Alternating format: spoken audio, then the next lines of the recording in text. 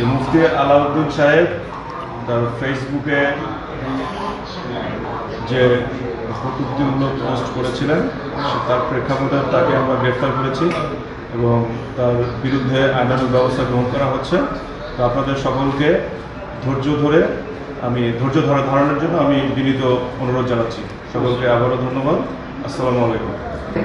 তার বিরুদ্ধে একটি মামলা হবে আমি নিজে সে মামলার আহ, বাদী থাকব। আলহামদুলিল্লাহ। সবাই সব জায়গায় সবারই ভাবনা এক।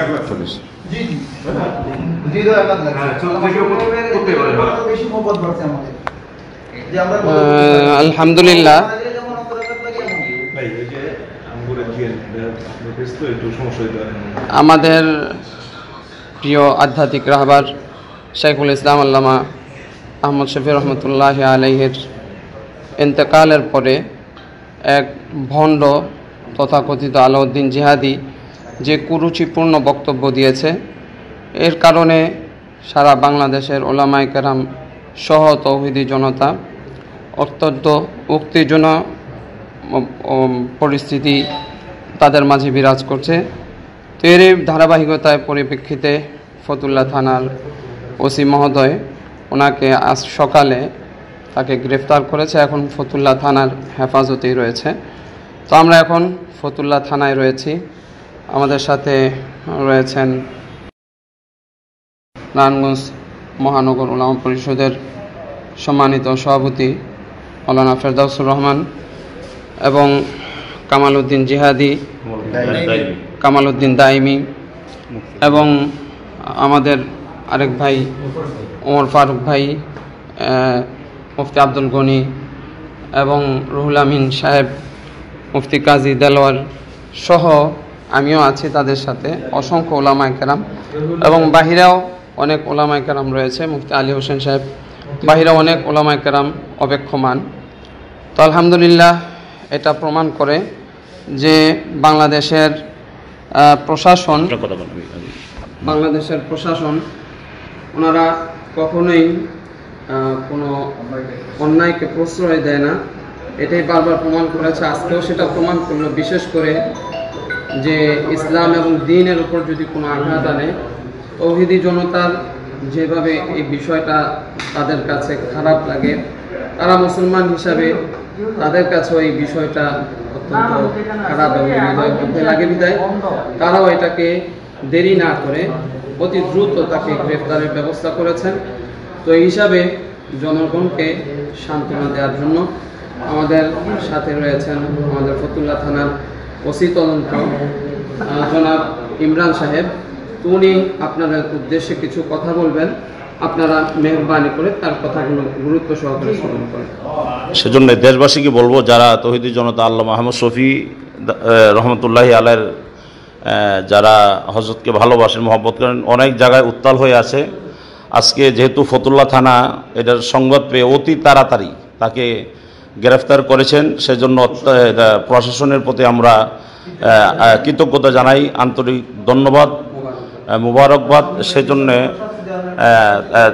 তার আইনের আওতাধীন যে বিচার হবে সেই বিচার ইনশাল্লাহ তাকে করা হবে। আপনারা দেশবাসী কেউ উত্তাল না হয়ে নিয়ে বাড়াবার দরকার আমরা আইনের আশ্রয় যেহেতু নিয়েছি, আমরা অশৃঙ্খল না, আমরা উগ্রগামী না, আমরা আল্লাহ মাহমদ শবির রোহানি সন্তান, আমরা হজরতের জন্য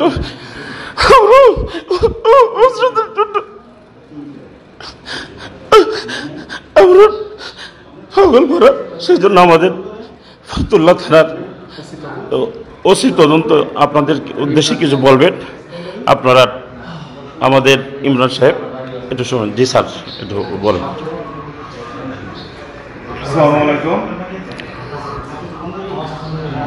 মুফতি আলাউদ্দিন সাহেব, তার ফেসবুকে যে কটূক্তিমূলক পোস্ট করেছিলেন তার প্রেক্ষাপটে তাকে আমরা গ্রেফতার করেছি এবং তার বিরুদ্ধে আইনানুগ ব্যবস্থা গ্রহণ করা হচ্ছে।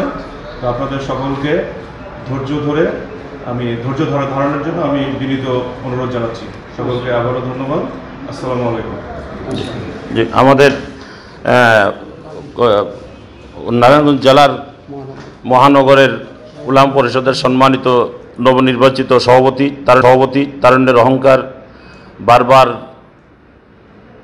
কারা নির্যাতিত মজলুম আলিমদিন মাওলানা ফেরদৌসুর রহমান সাহেব, আপনাদের জাতির উদ্দেশ্যে কিছু বলবেন আসসালামু আলাইকুম রহমতুল্লাহ আসলে আমরা আজকে খুব মর্মাহত, কারণ গতকালকে আমরা হজরতকে দাফন করে আসছি। সারা বাংলাদেশি হজরতের মৃত্যুতে খুবই শোকাহত।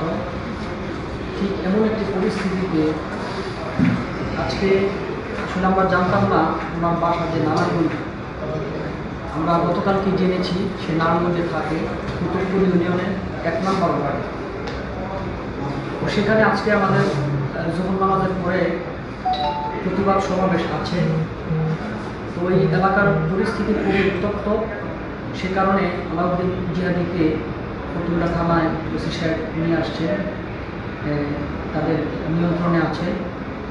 আমি মানুষবাসীকে আহ্বান করব, আপনারা উত্তেজিত না হয়ে এখানে সুন্দর একটি সলিউশন হয়েছে, মামলা হবে, তার তার বিরুদ্ধে একটি মামলা হবে। আমি নিজে সে মামলার বাদী থাকব।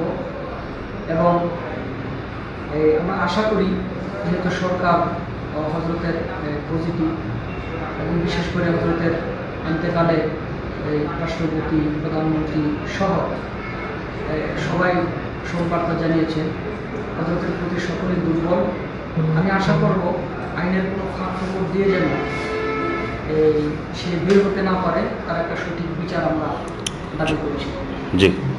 তো সেই জন্য আমাদের আমরা দেখছেন অনেক ওলামাই কেন এখানে উপস্থিত আছে। তো সেই জন্য দেশবাসীকে বলব, আমরা কোথাও কোনো অশৃঙ্খলতা না করি, ইনশাল্লাহ। আমরা সবাই আইনের আশ্রয় নিয়েছি। আইনের আওতাতে ইনশাল্লাহ যে বিচার আসে, আমরা সেই বিচার মেনে নেব। সেজন্য দোয়া করে দোয়া চাই। আসসালামু আলাইকুম রহমতুল্লাহ। কুয়াকাটা মিডিয়া সেন্টার, ইসলামিক বিনোদনের বিশ্বস্ত সঙ্গী। হক্কানি আলমদের নিত্য নতুন ভিডিও পেতে আমাদের চ্যানেলটি সাবস্ক্রাইব করুন।